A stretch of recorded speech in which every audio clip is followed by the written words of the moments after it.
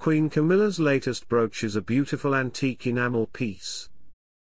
Hello viewers, welcome to Royal Unlock. Please make sure to subscribe and hit the notifications bell, so you don't miss any updates about the British monarchy. In recent months, Queen Camilla has been seen wearing a beautiful new brooch embellished with diamonds and enamel. Today, I will share the intriguing history behind this elegant accessory.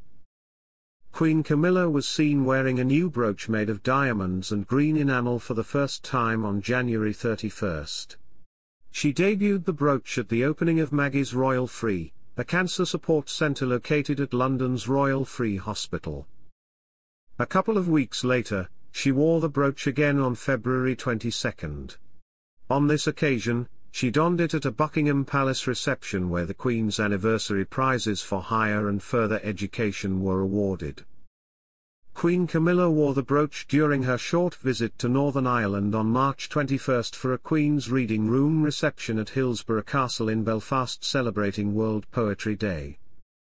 There was much speculation about where the brooch, which has a diamond square surrounded by vibrant emerald green enamel, originated from. A detailed overview of the Queen's Reading Room reception in Belfast was provided, where royal reporter Rebecca English revealed that a piece was given to Queen Camilla, as a gift from King Charles III.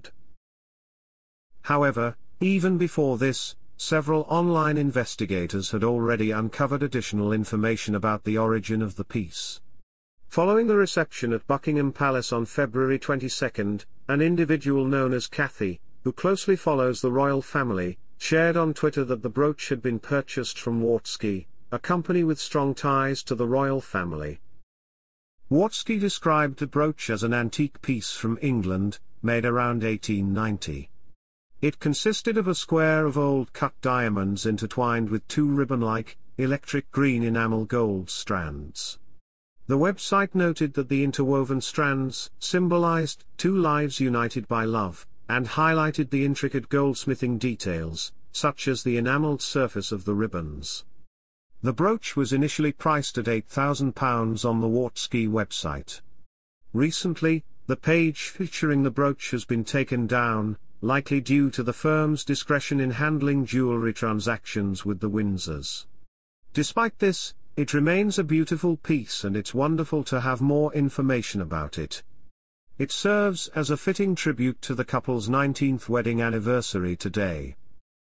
Thanks for watching, please don't forget to subscribe. See you in our next video.